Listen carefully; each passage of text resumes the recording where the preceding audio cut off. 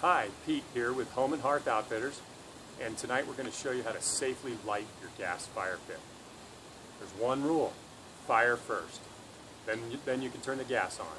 The biggest mistake people make is turning the gas on first, then putting the fire up to it.